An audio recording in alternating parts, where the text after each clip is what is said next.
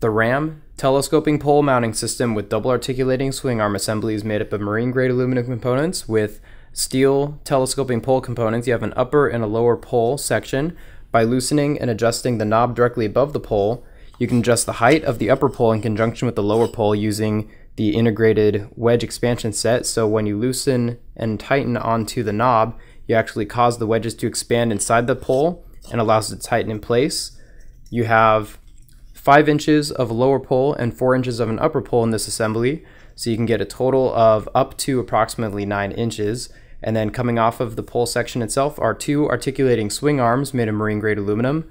And these can be adjusted in a scissoring action as shown. Each swing arm is 6 inches long, so you get an overall extension of up to 12 inches. And then tightening in place secures everything together.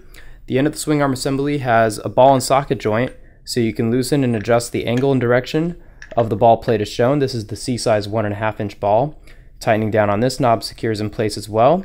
This contains a two and a half inch plate at the end where you have the industry standard four hole amps hole pattern as well as a three hole 120 degree hole pattern. This plate can connect to the back of any universal or form-fitting RAM cradle or any other device that lines up with the holes. This is most commonly used for attaching to the bottom of the RAM Tough Tray laptop holder system.